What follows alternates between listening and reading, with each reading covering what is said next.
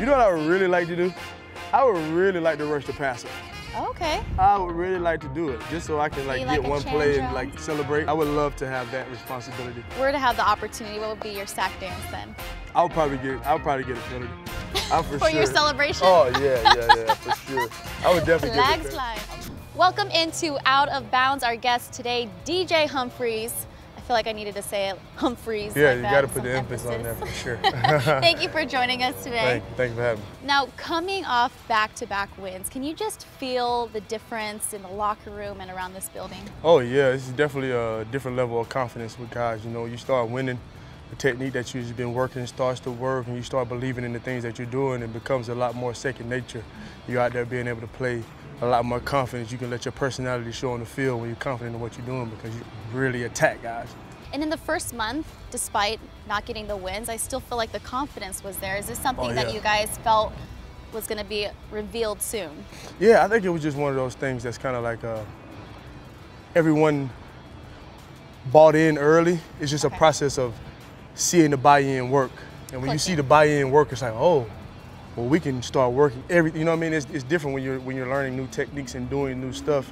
It's kind of like, ah, this is not how I'm used to doing it, and then it works, and it's like, oh, well, let me try that one too. And let me try that one too. And then next thing you know, everybody's buying into what we're trying to do and stuff is starting to click a lot smoother. It gives you the confidence. 100%, yeah. So in Cincinnati, it was a strong ground game that got the win, and then against Atlanta, it was the offense clicking on all cylinders. Is that what's going to make you guys so dangerous for defenses? Because you guys, they could have to pick their poison at that point. 100%. I think that's I think that's kind of what we were hitting at early in the offseason when we were taking a lot of flack early on for not running our offense and stuff. Just kind of understanding that it's, it's a process, you know. And even even once we start running it, understanding that it's a process. This is the first time that coaches call these plays and, and understanding scenarios and situations when to call stuff and how to play stuff. This is the first time that college been in a lot of these scenarios. So it's a lot of times that we're gonna take bumps and bruises early on, but you see now the, the, those self-inflicted wounds are starting to become positive plays, and a lot of those sacks where we're confused are starting to become throws out of bounds. And you know what I mean? It's just a weekly progression. And I think that's that's that's kind of our our message each week is just trying to pick something to keep building and building. Yeah, and we've already seen Coach just evolve so much. How have you seen this offense evolve since Man, week it's, one? it's, it's funny because you when you've been when you be around when you've been around for a while, you start kind of you, you understand the game a game plan, you understand what we're trying to do, and early on it's like man, we don't have many runs mm-hmm. here in the on the goal. Line. You know what I mean? Yeah, yeah. yeah, You know, so you start seeing stuff like that, and then the week start going. Like, oh, we got a lot more 12 in this week. We got a lot more, you know, and it's it's, it's, it's always positive to see because you see, it, it, it, it's- a coach that's practicing what he's preaching. He's not telling everybody to go out and pick something and get better at, and he's still doing the same stuff that he was doing the week before. He's doing the same thing, you know. And I think it's always uh, a lot easier when you're dealing with a coach that's played before because the mindset is different. You know, it's different when you. It's a different feeling when you've been burned before and you feel it and you feel like you got to go out the next week and respond. You know, it's Yeah. a different mindset coming from a mm-hmm. guy that's played the game and has a different type of pride like that. So it's really cool to see him grow and, Right. and, and progress as a coach as well. So with that, do you feel like you guys are still forming your offensive identity? Oh yeah, oh yeah. I mean, I just, I just, just being on the inside of it, I feel like it's so much of our offense that we haven't been able to access yet, just because we're still, even though it looks better now, we're still working through a lot of bumps. You know, we're still working through a lot of speed bumps, and it's, it's, it's cool to see, you know, when you win and you look back like, man, look at all these plays we left out here. We could have did this, we could have did that, and it's like, it's all, even in winning, there's always ways to grow and ways to learn and move forward. Absolutely. Now, shout out to the big guys. No sacks last week, and you guys really just seem to be forming as a unit. How would you just assess your your guys' play?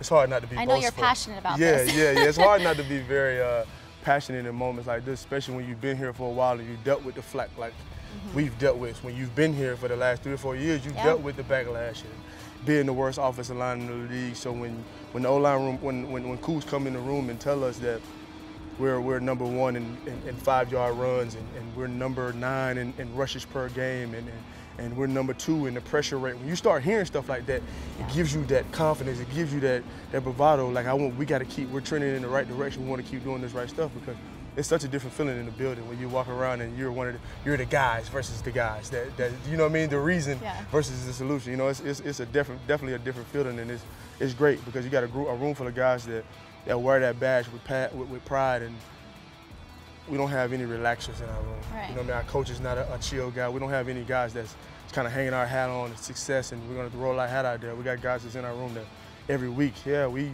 might have whooped some guys, but it's like, hey, these five plays, I did this, I did this. Hey, this week we got to make sure we work on this because we showed this on film. And it's like, hey, we just beat those guys, but it's still every week we got to find something to progress on. I think that's been working for us. Now in the preseason, I remember asking you just what you think, what it would be like, uh, you know, blocking for a guy, covering for a guy like Kyler Murray. Now with game time under your belt, what is it like? Take me inside the trenches, just not knowing if he will, you know, scramble or just pass protecting for him. What is that like? You know, sometimes it's very good because you know I had I had a play early in the game last week where I got beat off the line. I was laid off the ball, and the guy beat me. And if I got a normal pocket pass, it's a sack, one of the ones that hurts. You know, I got beat at the line, he gets. But you got a guy like Kyler, he's able to escape and give me a chance to get back in position and finish a block. And now he throws it down downfield for 25 yards. Mm. You know what I mean? So we're dealing with a guy like that is just understanding that there's no clocks and, and you just there's no give. He can extend the play at any time. And I think that's is it's one of those things. It's like man, is I, I, this is the guy that I would love to have on my side versus playing against this. Yeah, exactly. You know what I mean? You know what I mean? I feel like I, I know what it feels like to have like a guy like Russell in the backfield now, just mm-hmm. extending those plays and, and keeping it rolling. You've been a big fan of his since day one. Oh, yeah. You have a now playing six weeks together, a favorite Kyler Murray story? Play or story? Story. It could be in the locker room, it could be anything. Um, I think just the way that we try to interact with him, Okay. because like the offensive line, we're we're we're big personality guys. It's a lot of funny dudes. I don't dudes. believe that. the, it's a lot of funny dudes in the old line room, and we communicate with each other well. And you know how it is for young people. You know, this is a little different. These Yeah. millennials are a little. They used to FaceTime and Snapchat. You're not a and millennial, yeah. I'm an old soul millennial. You know, I was born in '93. It's a diff, It's a big difference between '93, '94, and beyond. Oh, That's Lord. a huge difference. You know, they didn't even have really Rugrats. So you know, they're they can't hang their with you childhood is just completely different. So you just got to figure out ways to relate. So I think like Right. Mm-hmm. our day-to-day interactions with him, you know, just the growth and, and pulling Yeah. back the many layers of, of Kyler Murray, because we, we do it. We snatch it very aggressive. We don't give him a chance to, to be a cool oh, guy. Oh, Yeah, we try to make sure that, He stays humble. yeah, we have to. Even though he's NFC offensive player. Somebody's got to do it. You know what I mean? Somebody's got to do it. It's your job. oh, yeah, man. Somebody's got to do it. He All right. enjoys it, though. He's a good sport. Yeah, he is. Now we have some fans who sent in big time hump fans that sent in some questions. First one coming from Ego225. He wants to know you host a radio show, The Big Red Rage, weekly. Is this something that you want to do in the future? TV, radio personality. I can see it. So this is my thing. I really enjoy, you know, the back and forth Yeah. of radio, you know, but I just feel like I need a camera in the room, you know, because I just feel like I'm you too have a handsome. face for television. TV. You know, I have a good voice for radio, but I feel like my face for TV outweighs my voice. for radio. well, then you can do it all. Yeah, that's why I'm really glad to have a camera guy that comes and, you know, films it. Yeah. My grandmother gets to see that cut up, so Getting she's everything on your reel yeah, to yeah. Push just, out one day. just just building game tape, you know. But hopefully one of these days I have a TV show. okay. And guys, thought check me of out. All right, we will follow that. Um, next one coming from Ryan One wants to know what is it like being an inspiration for a lot of youth, himself included. He Wow. Wow. yeah, That's a um, that's a funny one because that's something that I wear with pride.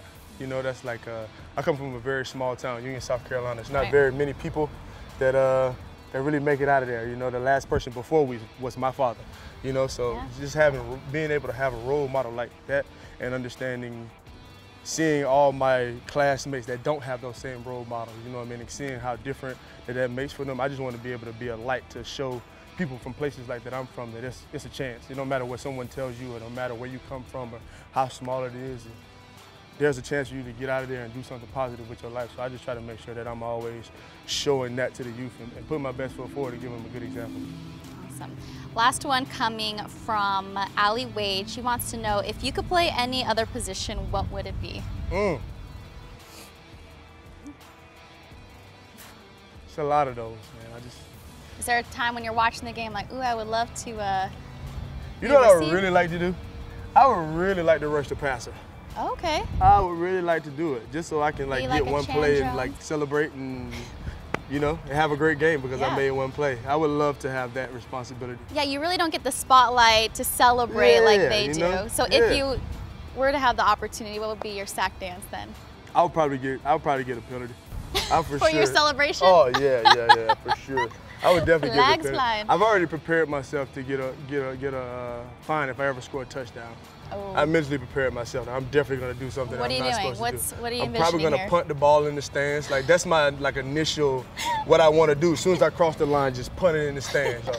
The ball is definitely going in the stands. I might go in the stands as Okay. well. It might be a, might a like- Red Sea leap or something. You know. Oh. So I don't know. I'm definitely like gonna get that. a fine the for Red sure. Sea Leap. Any dance moves? No dance moves. I'm a two-step kind of guy. I don't really have a lot of rhythm. Keep right Yeah. here.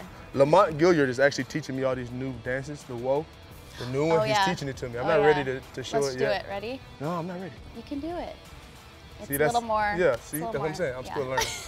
I'm still learning. it's not that part. It's the it's the build up. It's that that that little motion right Uh-huh. there. That's the part I can't figure out. I can do it sitting down, but standing up is a You whole. just need to bend the knees. it's all Yeah, on the it's knees. a lot. That's a lot of coordination. I don't know if I'm Well, ready. for. hopefully we see it this week. Stack three in a row. Yeah. Get you a little, a little Yeah, dance. we go on a streak. I definitely will dance. Thanks for joining us, DJ. Thank y'all for having me. Hey Cardinals fans, welcome to our official YouTube channel for the Arizona Cardinals and our Emmy Award winning show, Flight Plan. Now, this is a place to get to know some of your favorite players and coaches on and off the field, as well as stay up to date with all your NFL news. Be sure to hit that subscribe button so you never miss another video.